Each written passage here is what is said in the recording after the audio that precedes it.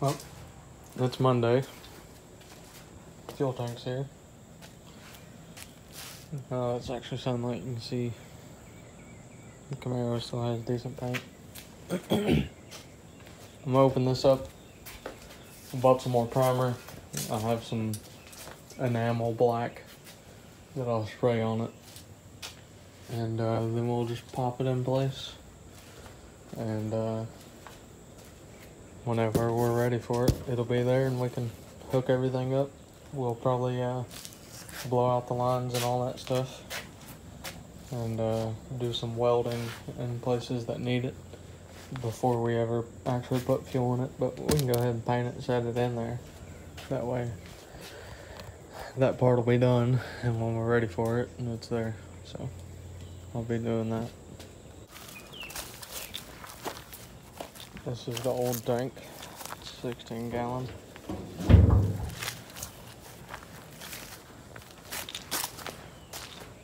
Here's the new one, 16 gallon. Both have the drain plugs. Everything seems to be in the right spot. It already comes coated with something, but I'm still gonna uh, spray some black on it. I may do primer and then black, or I may just do black. I'll squirt a little bit of black on it, see what it looks like. Once I can find it. This spider up here keeps connecting webs to my car. He's gonna have to learn not to do that, or he's gonna come down from his web.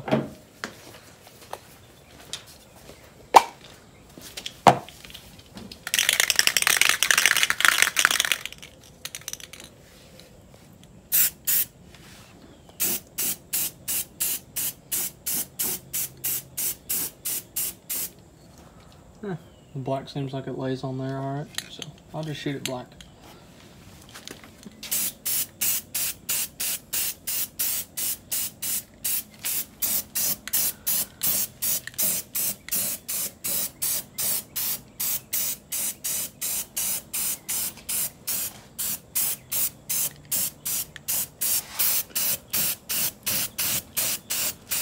This may or may not actually do anything, but I'll always do it.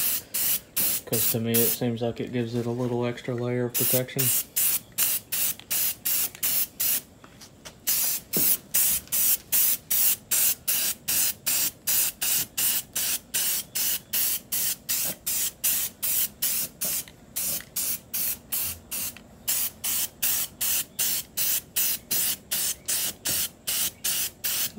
Probably should check and see if it fits first before I do this. That way I can return it if it don't, but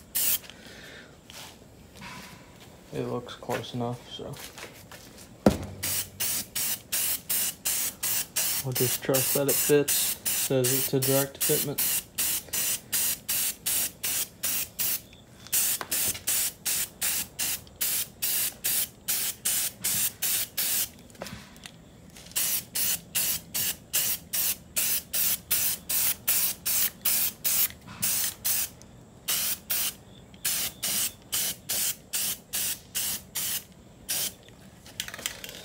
Alright, we'll let that dry and then we'll move it around and spray the rest of it. While I was out in town, I bought some more primer, so we'll do some more primering. As you can see, my wife's stupid cat is already out here ruining my damn primer. It's the one negative thing about using this primer is if something gets on it, it doesn't want to get off of it. So like that, I'm gonna have to sand that out and re-primer it. So that's drying. I'm gonna start over here near this fender. And I don't think I'm gonna be worried about the hood. We'll go up along this fender. I may leave the top of the fender and then just come along the side here. I don't know. We'll see. I'll just get started.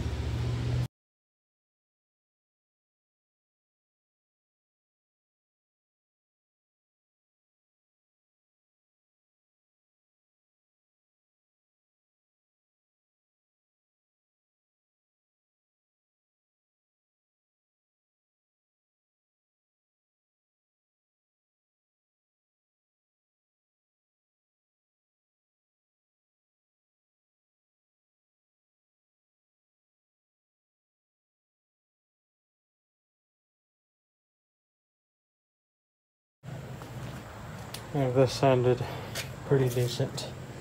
Went ahead and did the top of the fender here. So we'll go ahead and get it while I'm at it. I can do from here down and back.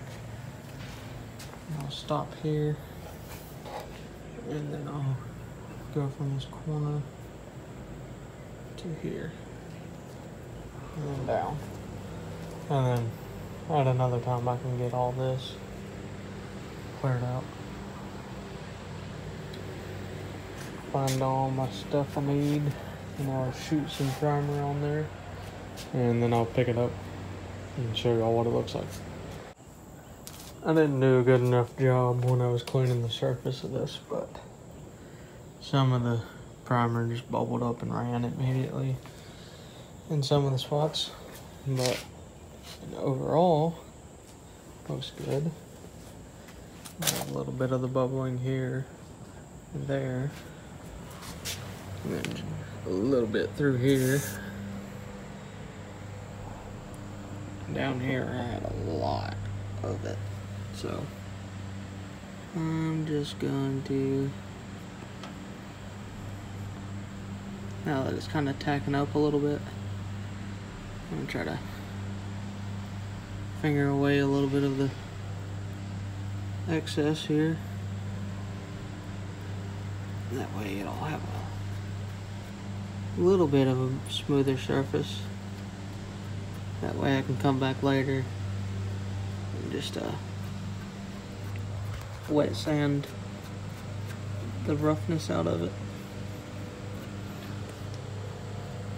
It's uh, aggravating that this happened, but it is my own fault that it happened. So we'll just kind of smooth these bubbles out. And then once it all dries, I can come back and wet sand it and do a little better job.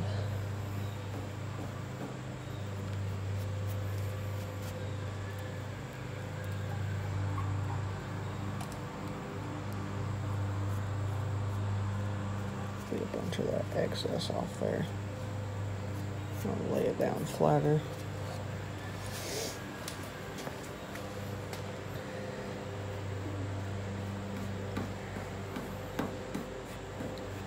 This is why you clean your surface good.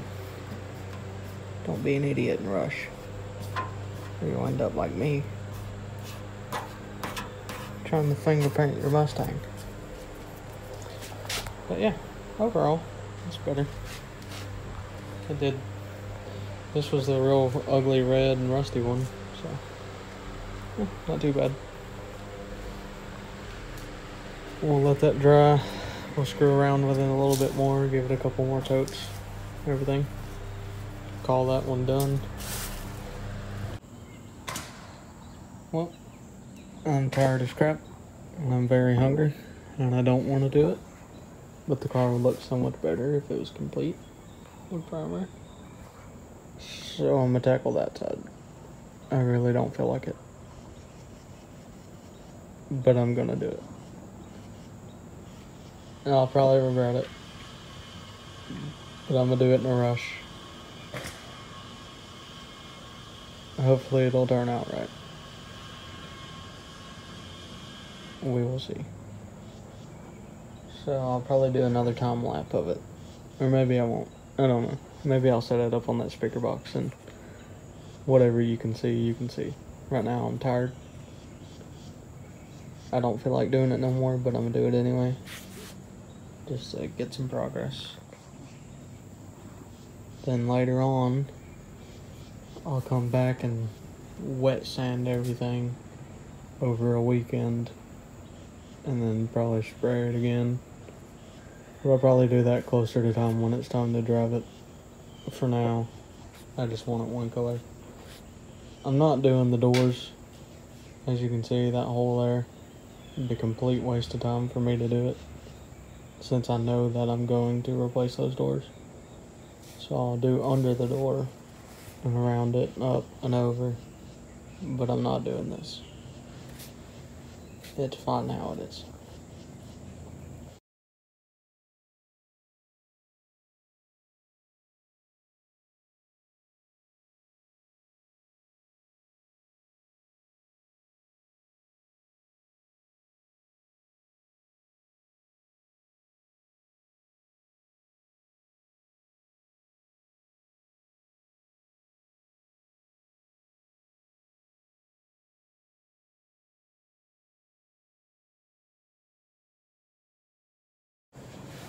Okay, for some reason, it's still wanting to run on me.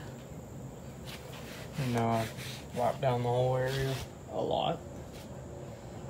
So, I just did a dusting over it. I'm gonna give that a few seconds. And what that'll do is it'll give something for the primer to stick to.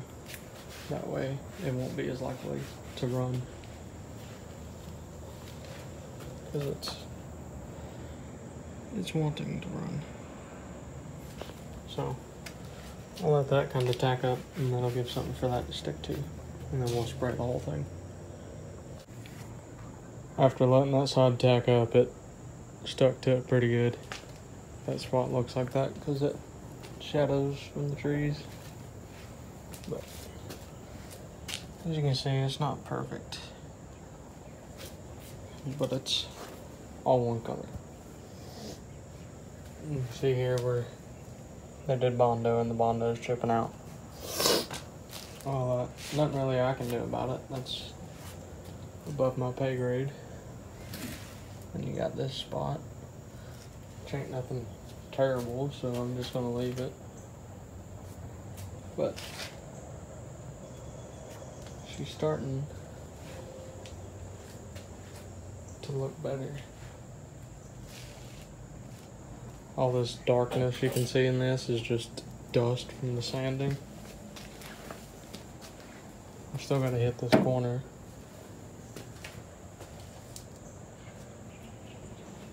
I mean, overall, it's not too bad. I could just leave this how it is, since that matches but I also don't really like the rush, so I'm still up in the air on that one. But I can't reach the roof, I'm too short, so I have to wait till it's down on the ground again before I do the roof. I'm gonna leave the front end blue because there's nothing wrong with it. And uh, hood, there's no point doing it because all these giant chunks of Bondo is missing. It'd be pretty pointless. So that'll be replaced later on anyway. Uh, I could do this, but I feel like it'd be easier to do if it's off the car. And I don't know if it comes off the car or not. There's something I'll have to look into. But we'll go up the pillars here, do the roof. Where we're gonna leave this how it is because it's in pretty good shape as well. Uh, this lower part's in pretty good shape, so we'll probably leave it there. It ain't hurt nothing. I just wanted to get all this you know, one color instead of seven. So we can have all that primered and then just the blue. And then the doors are going to stay how they are because they're shot anyway. So the only thing really in question is this fender. I'll see how much it stands out whenever everything else is done. But if that would have been of more of like a solid white with that, and if the whole car was that way, it would look pretty cool. It could have made a cool little street rod, rat rod out of it. But working with what we got, I'm gonna flip that over. It's been a while. I'll paint the bottom side of it, and it should be good to go set in place. I'll have to round up some bolts for bolting it down and everything, but I'm gonna wait about bolting it down anyway because who knows, I might need to get through that hole or something, so we'll flip it over, get the bottom of it painted, go set it in there, see how well it fits. I feel like this corner is not supposed to be bent, so I might have to bend that back out.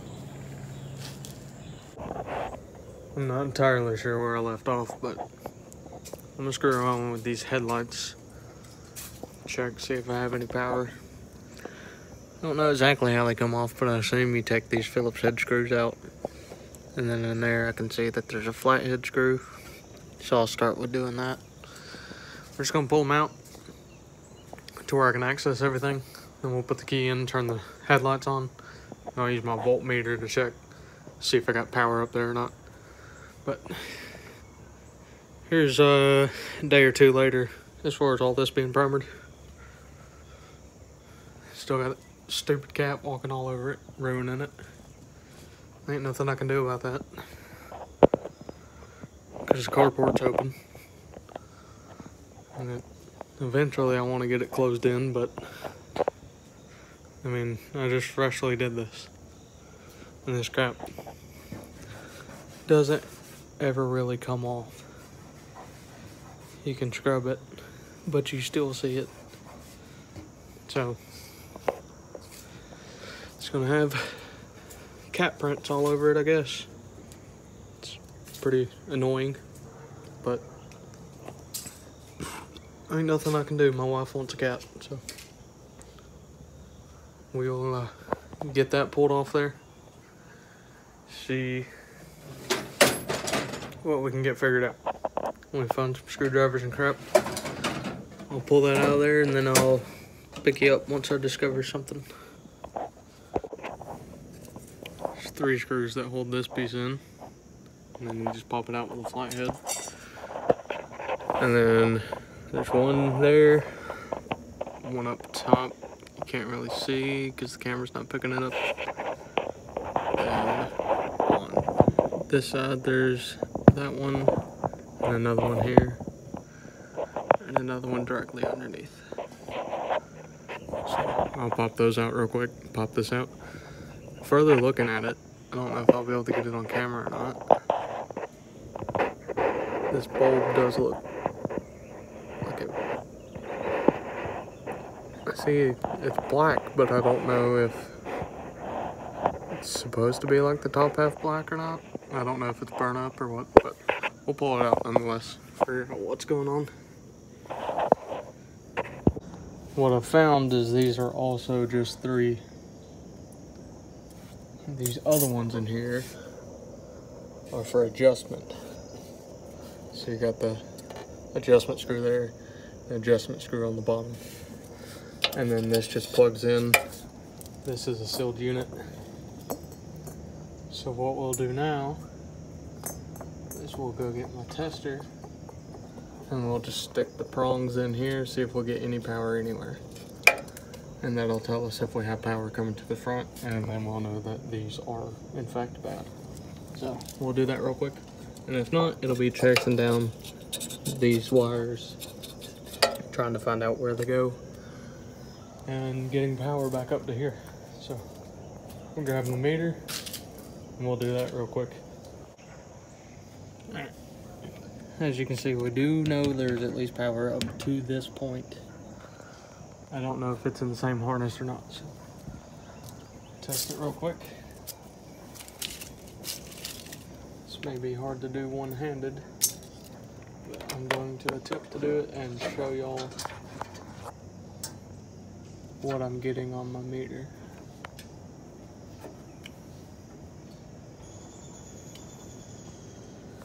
Okay.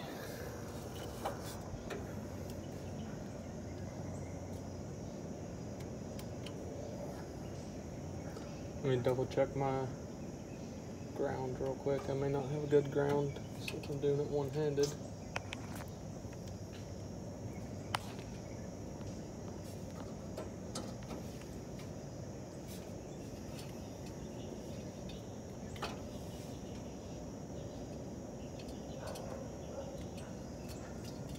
This is actually really hard to do one-handed. Okay, let me let me screw around with it. I can't do it with one hand, so I'll pick you back up once I figure out something. Okay, so no matter what I do, no matter where I put it, I cannot get any type of reading off this plug, and I should be. It's taped right here, so maybe this is part of my problem. Let me try to find where this routes to. Okay, see it right here.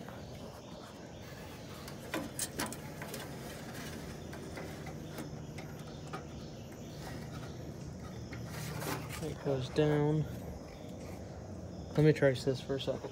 I'll pick up when I know where it goes. I really know nothing about car wiring, but everything seems together and everything seems like it goes within this big wiring harness down here in the bottom. And then that leads back through over here and leads to this wiring harness. That leads around and goes up there. And there's something unplugged right there. I can check into that. But then it leads to this. And this is supposed to be plugged into here. Not exactly sure what it's for. This wire's missing out of it, whatever it was for. So,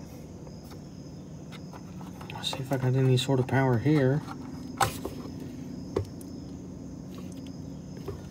Or I wouldn't. What? I, I don't know. I don't know what this thing's for. I've never seen one of these.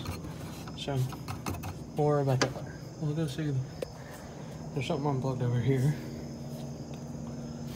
Let's see if we can find out what this is.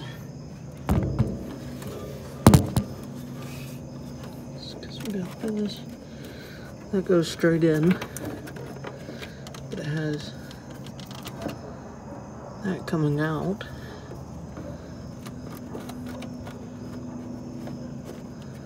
I think this is our wire loom here.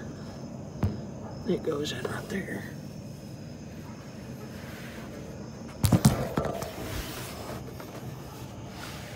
Back out to here. I know that's a. There's nothing in that. What the hell is that for?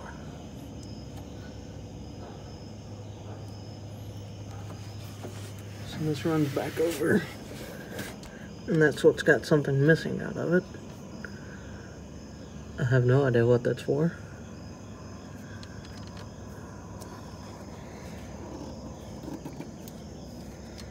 As you can see, somebody's been screwing around with all this stuff. It's gonna be a mess trying to track it all down. So it runs to the inside where we got this rat nest. Oh crap. Okay, so that's for the You got this thing here. Is this what's supposed to go out there and plug in in some sort of way? And then you've also got this. It's unplugged.